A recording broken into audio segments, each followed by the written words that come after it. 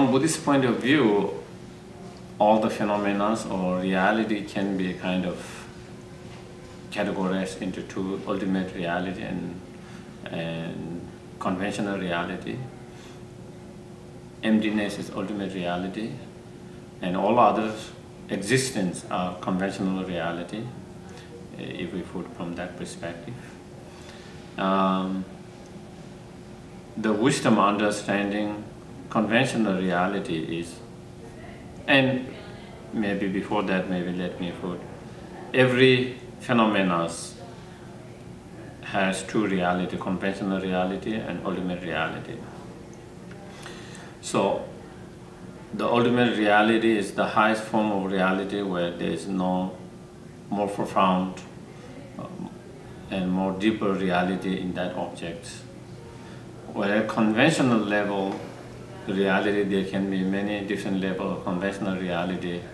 Um, um, if we uh, if we say the bottle of the water, um, and there are many different levels of conventional reality in here. The reality, the impermanent of that water bottle is a conventional reality.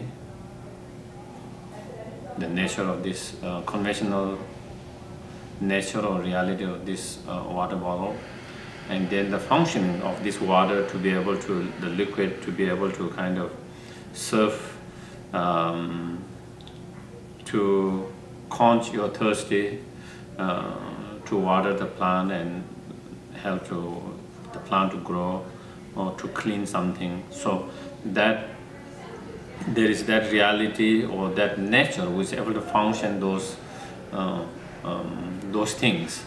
And that is again a conventional reality of that.